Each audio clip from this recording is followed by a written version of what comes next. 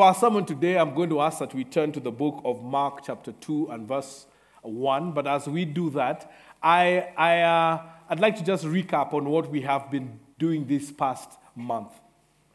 Um, Fred did try and, and, give you a perspective about it, but I, will be, I'll be a bit more detailed about it. On week number one, we started with the, um, the opening statement was, what do churches do? What are we known for? And we agreed that a church is not a place where you know, people come to worship, but churches exist to make disciples. Along or around, in line, aligned to um, the mission of the church, we read in the book of Matthew 28 and verse 18, uh, where Jesus says, Go into the world and make disciples of all nations, baptizing in the name of the Father, of the Son, and of the Holy Spirit, teaching them to obey what I have commanded, commanded you, and I will be with you to the very end of the age. We also went on to agree that the church is the most effective tool in doing or changing or transforming any society. But even more so, we also did agree that we as the church failed to take on this opportunity. And we call this the Caleb Report. Those of you who come from primary, it is Caleb. Those of you who went to, uh, no, those who went to primary, it is Caleb. Those who went to primary, it is Caleb. But however we say what it is, we call it the Caleb Report. I went to primary um, the Caleb report simply because during the time of Caleb, seeing what the Lord had done through the years, taking them out of captivity, and now just at the penultimate stage, entering into the promised land, they got a report. They got a report that there are big armies, fortified cities that they could not take over the armies that were more experienced than they were.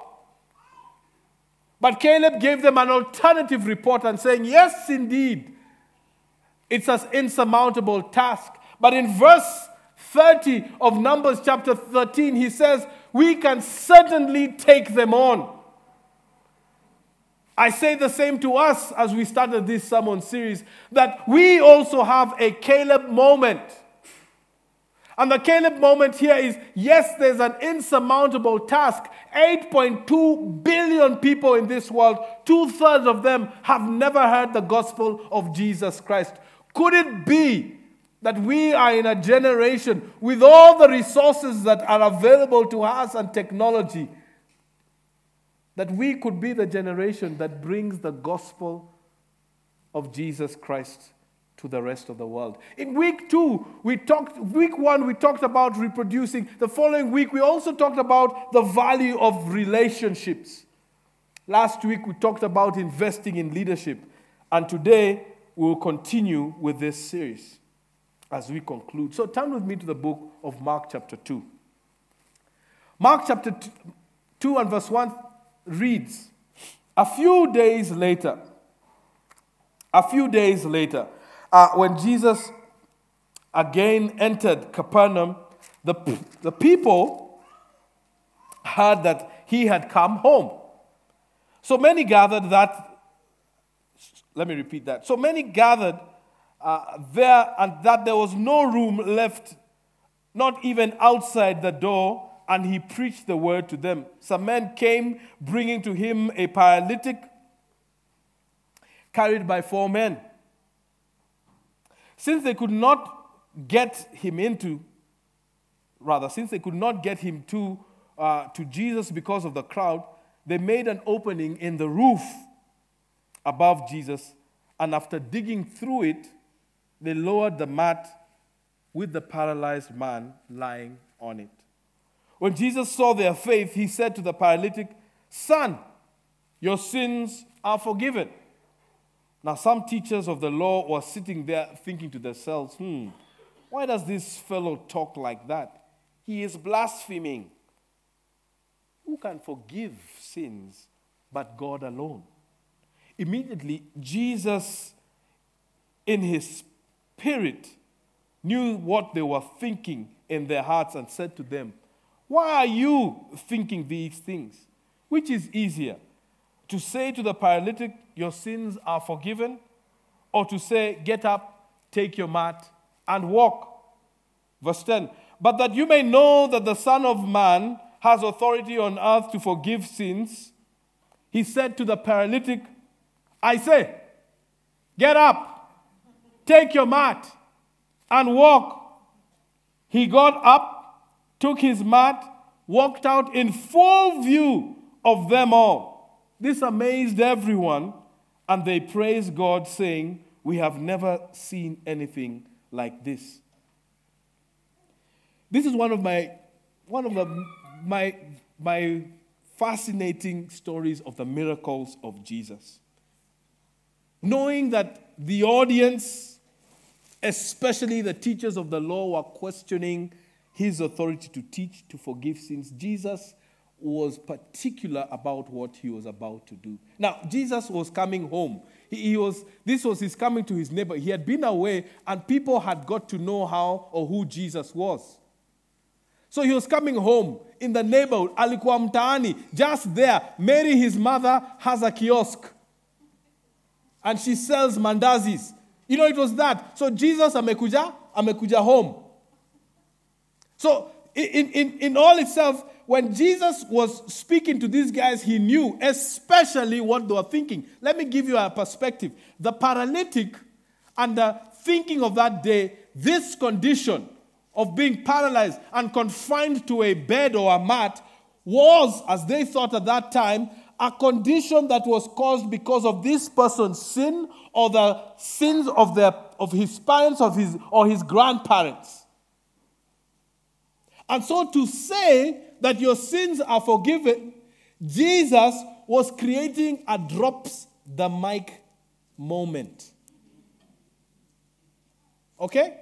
And let me help you in this. So he says, Your sins are forgiven. Sindio wanamjua. They, they knew he went to Kongoni Primary School just down the road over here. They, they knew this guy, you know, uh, this guy always was being chapwat by his mom because he came. They knew these things about Jesus. I'm just assuming that. All right? They knew his father was the, the, the guy who had a, a, a woodwork carpentry shop over there. See, that they knew. So, who is this who comes to say your sins are forgiven? Only God can, but Jesus knew. So, to prove to you guys that I can forgive sins, and at the same time, I say that I'm God, Mzea, Ebu Simama, take your mat and walk and he drops the mic. At least that was if it would have been me doing this thing. now, guys, in as much as I want to preach about the faith of this guy and, and his four pals who did that, in as much as we talk about the theology of this particular miracle and, and what the writer Mark was trying to be able to do, this is not what uh, uh fascinates me about this story. What fascinates me about this story is what happened next. My question to you is who paid for the roof?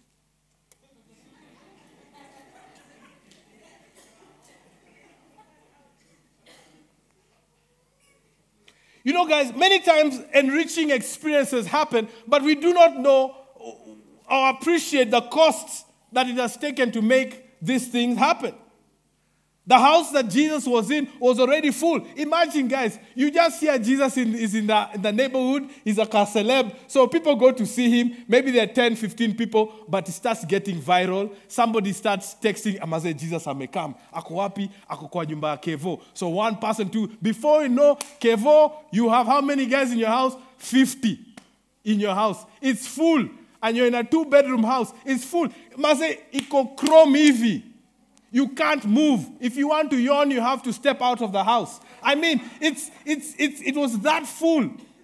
The milk finished, sugar finished, everything, even the water finished. So you can't flush the toilet anymore. Mujikaze nyiwa say. That's how inconveniencing it was for that person. He did not expect that. The audacity of those who, of the paralytic and his friends, may be telling. But nevertheless, with the teachings and this awesome miracle, the owner of that house was left with a big bill to pay. So I ask, who paid for the roof? If you look further through the Gospels, we do not know what happened to this former paralytic, neither to the owner of the house. But let me speculate for conversation's sake here. What was the financial situation of the owner of this house? Were they from meager means or were they people of, of, of influence? Was it a, a, a, man who owned this or, or was it a, a, a lady who owned this home? We do not know. We do not know if they were peasants. We do not know if they had a trade. We do not know if this person was a widow or a widow. We didn't know if they have children or not. We do not know the season of the year that this particular incident happened. So the immediacy, uh, immediacy of fixing this roof, if it was the, the hot season, maybe you could stay a, a couple of days before you fix the roof. I don't know. If it was a rainy season, you need to fix the thing there. Where would they get the money? All we know is that by Jesus being in that home, it drew such a large crowd, and after he left, this owner of this house had a hole in their roof and needed to fix it. I ask you, who paid for the roof? Last week, I highlighted the number of people who have passed through our Kinara leadership program. And a number of you have told me you have been blessed and continue to be beneficiaries of the leadership process people who are ministering amongst us who we have invested in. But what we have not told you is that there is a cost. Like other investments, there is a cost to raising leaders. The work of making disciples of all nations costs. And somebody somewhere needs to pick up the bill. They need to pick up the bill to resource this movement. Discipleship making globally does not just happen, it doesn't happen by osmosis. If we go back in history, we'll hear of missionary movements or the missionary movement that came to Kenya. And missionaries did not just come to Kenya when the white man came to Kenya, no. But let me just assume, you know, that, that there were missionaries before that. But history is, is replete with things knowing that the gospel did come to this place, right north of us, just in Ethiopia. But when the Europeans came with the gospel, do you remember in class 5 the name Ludwig Krapf? Okay? He was an ordained minister. Your book did not tell you that in class 5. Ludwig Krapf was the first European missionary to Kenya. He was in Abyssinia in Ethiopia and then came uh, to Kenya and settled out in, in, uh, in around the Rabai area. Now, check this out. If you go to the German embassy right now in Kileleshwa, the main building of the German embassy is called the Ludwig Krapf Building. Useless information by Gowi Odera. But Ludwig Krapf and many other missionaries who came there on after, 200 years later, today, guys, we can celebrate to see the amazing work of what God has done through men and women like him. Today, we have a flourishing and thriving church in Kenya that continues to make disciples of all nations. But somebody had to pay for the bill all these individuals and many more have given up their time, their careers, their resources, some even the cost of their lives just to make disciples of all nations. They did not incur expenses just kierere. Somebody had to pay for it. On week one, we talked about reproducing. That is the core. We need to thrive. And by thriving, it means we need to be reproducing ourselves. We need to be making disciples of ourselves. I said, each one of you, each one of you, I repeat, each one of you. What did I just say? Needs to be repro- reproducing. You need to be at the place where you're telling somebody else, follow me as I follow Christ. Now, that person doesn't necessarily, you don't necessarily have to lead that person to faith. It could be that this person has just done it, but nobody has walked with them. This is an opportunity for you to be able to do it. And we said to thrive and to outlast our own generation, we need to reproduce ourselves in others. We need to tell people, follow me as I follow Christ. And once you reach the point where you have understood this, do this to somebody else. Our second week, we talked about our faith is best expressed in community. And we said there's a value in the relationships that we're making here at NC South. Somehow, these need to be leveraged towards discipleship making. And last week we talked about residencies, like in the medical field and other disciplines and professions. They go into a place of training where they grow in their understanding and in their leadership or their skill, and we invest in them. This is key to giving this movement depth. Movements need leaders. And if we're not investing in leadership, then we'll be a rudderless ship in a tumultuous time or ocean waves. Today is week four, and as we conclude, we want to discuss one particular thing which I feel we keep on ignoring as the church in Jesus of Jesus Christ. Discipleship making or the movement of discipleship making is not complete unless we talk about the place of resourcing this movement. This is critical. And let me explain to you why it is critical. Three things. One, if we do not do it, who will? Who else will advance the gospel if it is not us? Who else will commit to making disciples if it's not us? We, the church, need to recognize that Jesus did not have a plan B. You were it. Look at the person next to you. You might be uncomfortable about it, but look at them nevertheless and tell them you are it. If all the churches in the world would shut down and close, and we are remaining as the only church existent in the world, it will be our responsibility to advance the gospel of Jesus Christ. You are it, guys. Nobody else is going to do it.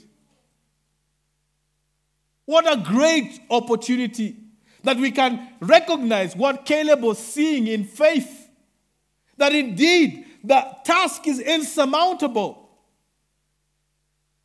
But surely in his words, we can certainly take it on.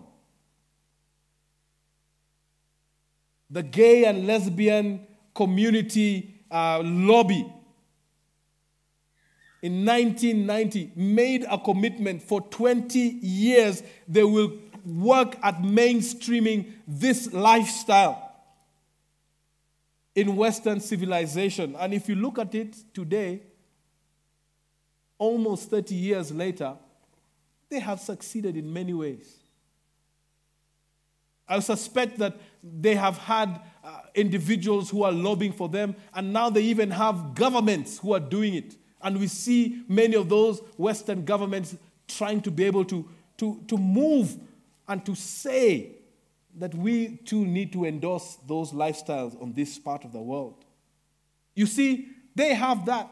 But guys, it's only you. Ni There's nobody else.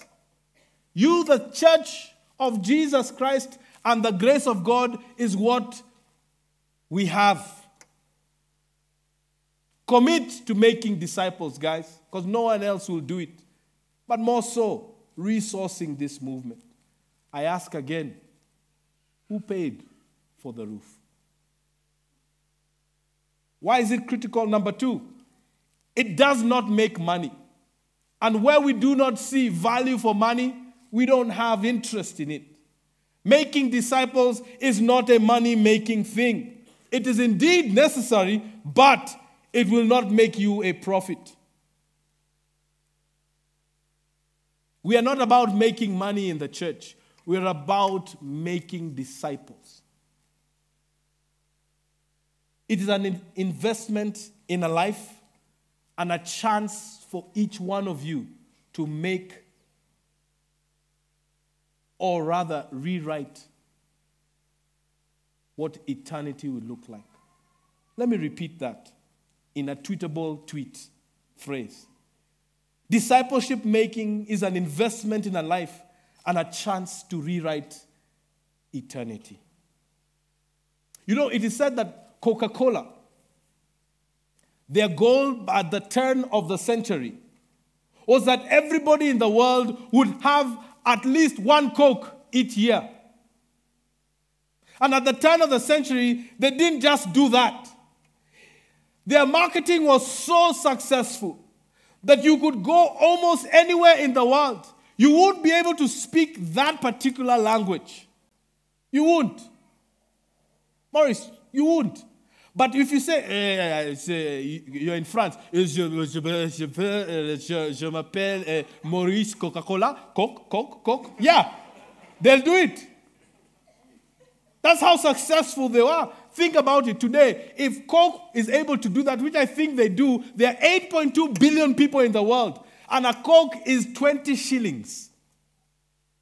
How much profit are these guys making? Buku profit. Huge, massive. No wonder they're the Fortune 500 companies. But that's not so with discipleship making. It does not make money. It will never make the Forbes magazine. But it needs resources to accomplish this goal. Listen to what Paul talks about where or what the need of resourcing ministries was to him. If we turn to the book of Philippians, chapter 4, and verse 10, Philippians 4 and verse 10, uh, Paul says this to the church of in Philippi. I rejoice greatly in the Lord that at last you renewed your concern for me. Indeed, you are concerned, but you had no opportunity to show it. I'm not saying this because I am in need, for I have learned to be content whatever circumstance. I know what it is to be in need, and I know what it is to have plenty. I have learned the secret of being content in any and every situation, whether well fed or hungry whether living in plenty or in want. I can do all things through him who gives me strength. I want to suggest to you that most Christians misquote or misplace this verse.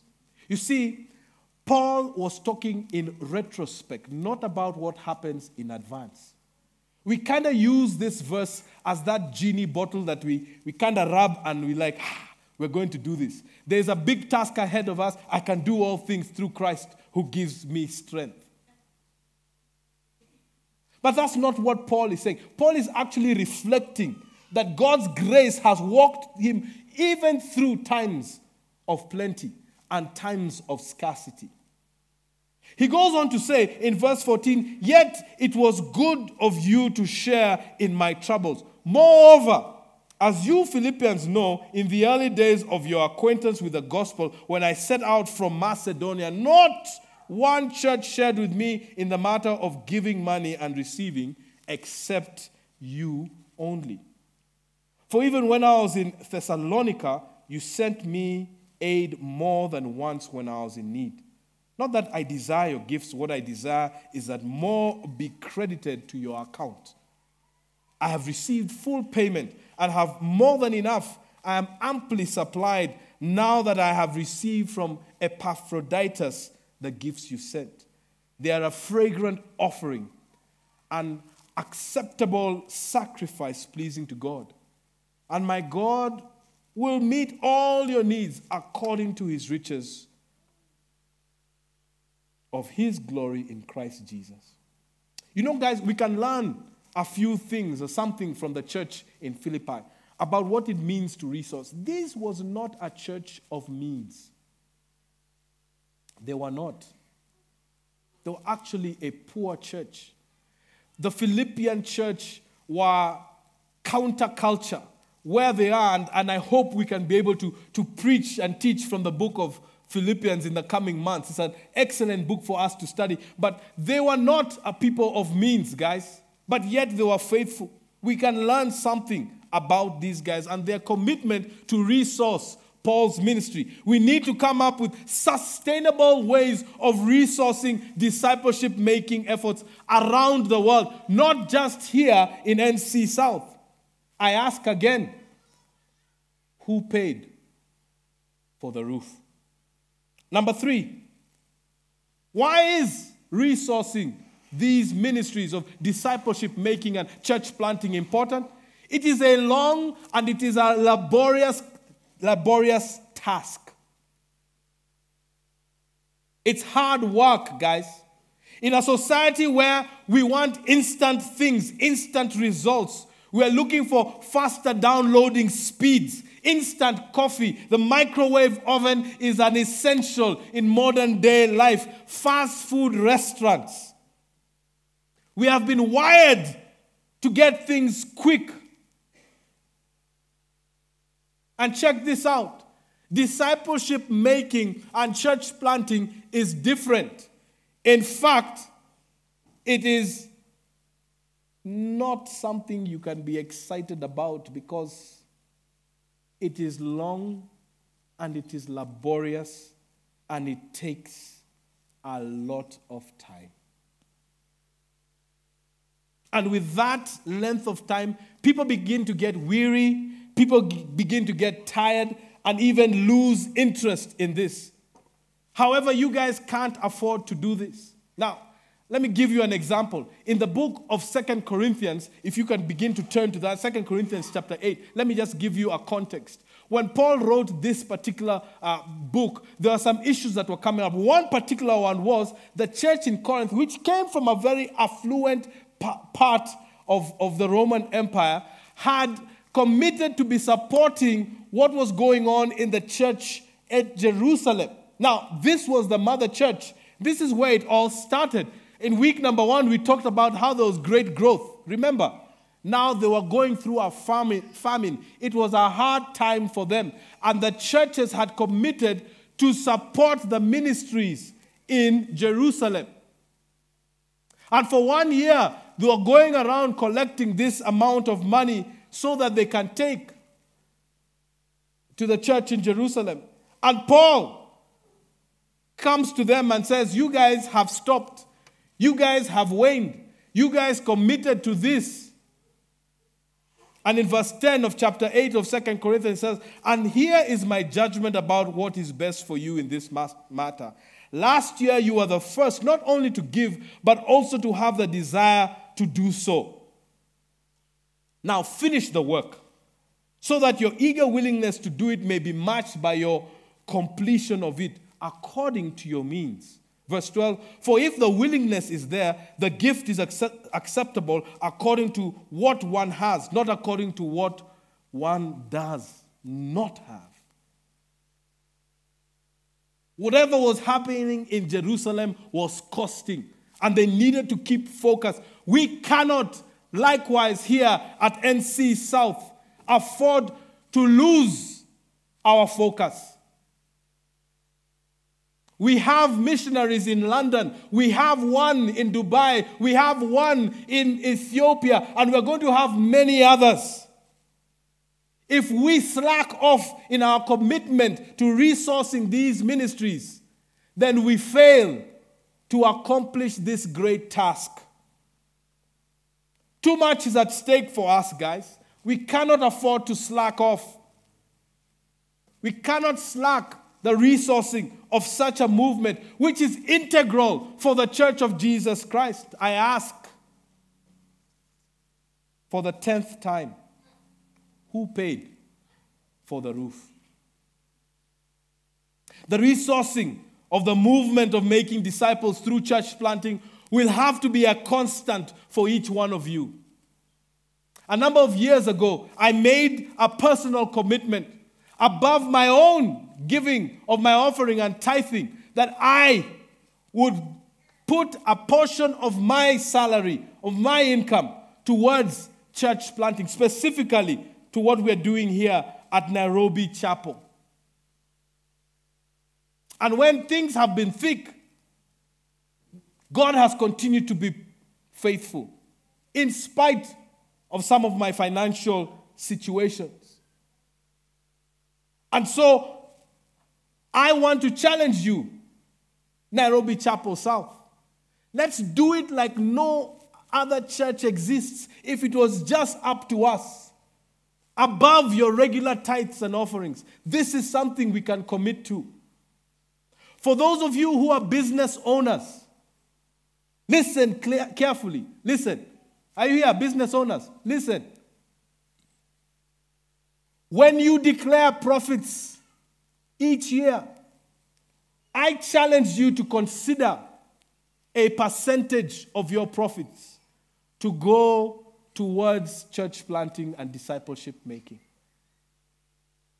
It could start with 1% this year, but you could increment and say, maybe within the next, you know, five, ten years, I want to be able to, to do 10%. But you can start now.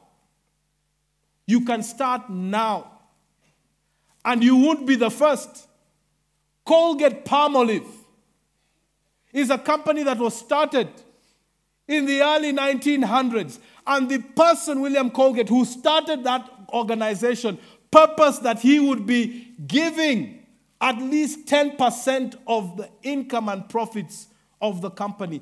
Guys, it is a profit making company today. Fortune 500 company, but it still gives at least 10% of its profits to its foundation and to the Colgate University, giving several scholarships, transforming lives. It's an investment that I think you should be a part of. I will ask for the 11th time who paid for the roof? Maybe you could begin for paying for the roof right here by resourcing disciples right now. You could. We have an opportunity with our church planting efforts in Bondo.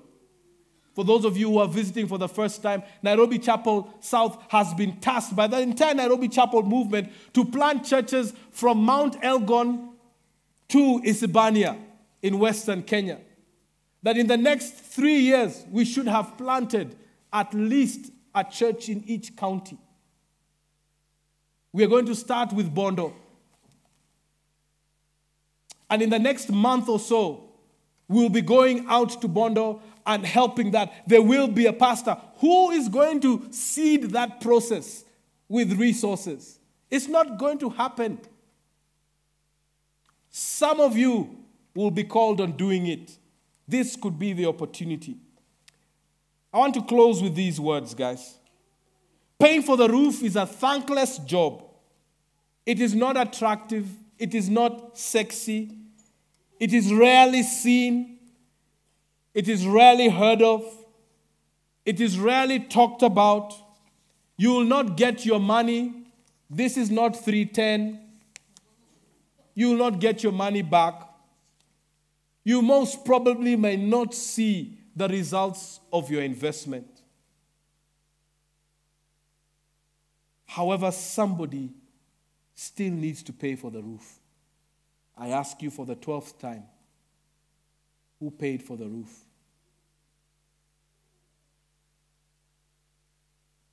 Now, I have a theory about that Mark chapter 2 story. Do you want to know who paid for the roof?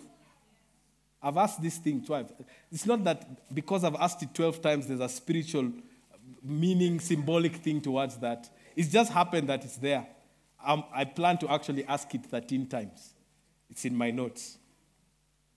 But if you want to know this, who paid for the roof, I have a theory. Okay? So let's turn to the book of, uh, Ma, of Luke chapter 8. I have a theory to answer that question of who paid for the roof. Luke chapter 8. Are we there? Luke chapter 8. Are you there? Luke chapter 8, verse 1.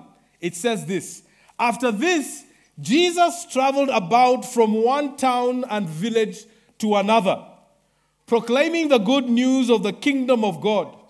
The twelve were with him, and also some women who had been cured of evil spirits and diseases, namely Mary, called Magdalene, from whom seven demons had come out, Joanna, the wife of Chuza, the manager of Herod's household, Susanna, and many others.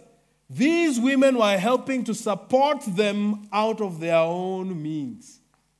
Wanawake, oh yeah. That's my theory. Guys, discipleship making is our responsibility. We cannot abdicate it to somebody else. You guys need to pay for the roof. I've said it 13 times now. Father, thank you for the ministry of your word. And I pray that, Lord, we would be a church, in as much as we might be a nondescript church, small church somewhere tucked in the middle of South C. A church of probably two, just over 200 adults who come here weekly. About 80 children and another 20 or so teen- teenagers. But Father God, you used a small group of nondescript individuals, Father God, many who are unschooled, but yet, Father God, they started a movement. We too, Father God, can build on this. May we remain passionate, Father God. And Lord God, in our passion to see disciples made all over the world, that Father will be committed to Father God calling out people to follow us as we follow you. And somehow, somewhere through time, as we grow in this relationship, they would also be able to say the same to somebody else.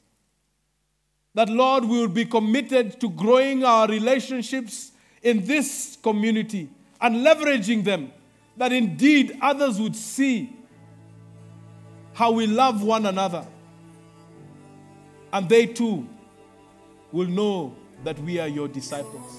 Indeed, Father God, we are also praying that, Lord God, we would be committed to calling out those who are called amongst us to lead this movement in different ways and different facets. That your grace would abound more despite the challenges they're experiencing. That we would rally around them as believers, invest in their leadership, and release them to go into all the world and make disciples. And Father God, bless us as a congregation. Continue to bless the substance and work of our hands, our places of employment, the side hustles we might have, the businesses represented here, the investments made here. That Lord, it must be not just about our own personal gain. But Father, would you break our hearts by the things that break your heart? And that, Lord God, we as a people of God would invest in resourcing the making of disciples. Father God, bless us, we pray. That, Lord God, we would be committed as a church to this great call. In Jesus' name we pray. Amen amen.